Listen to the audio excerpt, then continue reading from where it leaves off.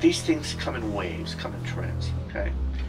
In terms of uh, these sort of iconic horror film creatures, the major trend before the current zombie trend, before The Walking Dead, and before World War Z, and before um, uh, all the imitators.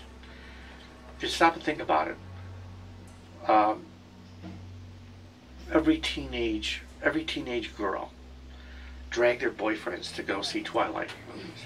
Um, you know, Bella in Twilight. It's like destiny.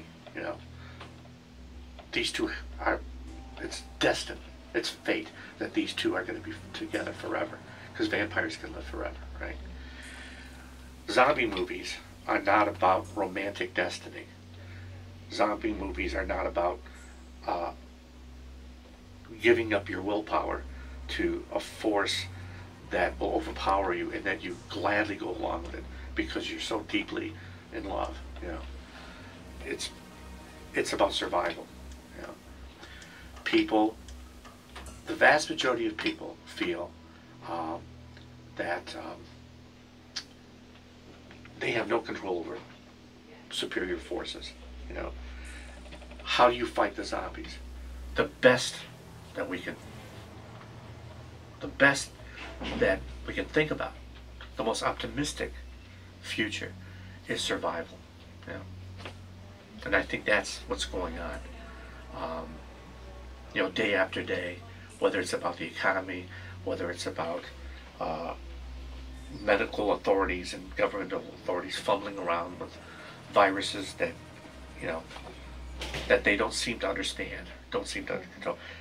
You know, when I first saw Night of Living Dead, I thought the best scenes in the film were the scenes where these besieged people are in this farmhouse and these things are, you know, you know, hammering in, and they turn on the TV, and there you have governmental medical authorities fumbling around, you know, and screaming to each other, you know. It's like CNN today. Turn on CNN, you know, right now. And what are they talking about? They're talking about viral infections that can spread and nobody knows how to stop it. Again, it's an, another symbol of total lack of control. Uh, I, I, think any attempt to try to um, imitate the exact same kind of thing uh, is, is simply going to be an imitation.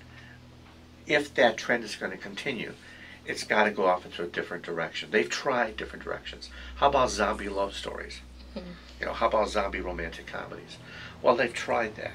You know, they've tried uh, the, the, zombie film as a sort of a spectacle, which is World War Z. You know, um, uh, we can directly connect uh, this uh, fascination with and the overwhelming popularity of zombie films and TV shows on the economic collapse.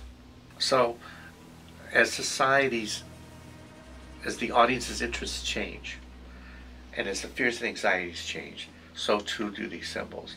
So, chances are, like every epidemic, you know, it's going to peter out. You know, it's going to phase out, and just as vampires were trans were supplanted by zombies, something else is going to come along. You know, and people will no longer get dressed up as zombies and go on, you know, zombie, go to zombie dances or marches or whatever.